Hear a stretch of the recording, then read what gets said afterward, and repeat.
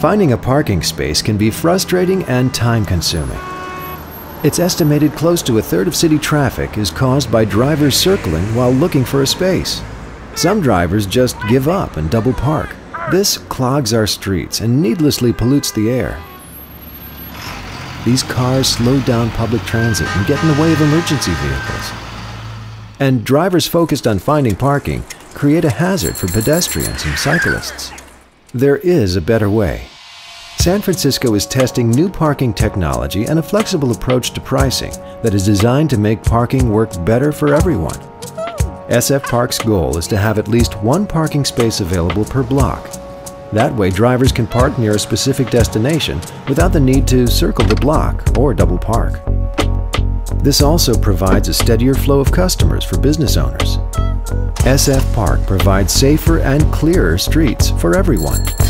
Here's how it works. Newly installed parking sensors detect when a parking space is available. Drivers will be able to check parking availability and rates online, by text message, and by smartphone before heading to their destination. This will help people decide whether to drive, take public transit, bike, or walk. When people choose to drive, new SF Park meters will make paying easier. In addition to taking coins, the new meters will accept credit cards and SFMTA parking cards parking time limits will be extended. Easier payment and extended time limits will help drivers avoid tickets. Prices at city-owned parking garages will be adjusted to provide an attractive alternative to meter parking. Parking rates will be adjusted based on demand, once a month, never by more than 50 cents. So, in areas where it seems nearly impossible to find a parking space, rates will increase until at least one space is available most of the time. And in areas where open parking spaces are plentiful, rates will decrease until most of the empty spaces fill, or until rates bottom out at as little as 25 cents per hour.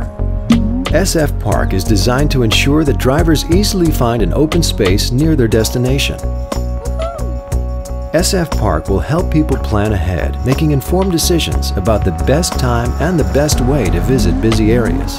SF Park begins its federally funded pilot project in eight areas across San Francisco, starting in the summer of 2010. Use sfpark.org to learn more. Sign up for project alerts and to let us know what you think. Circle less. Live more.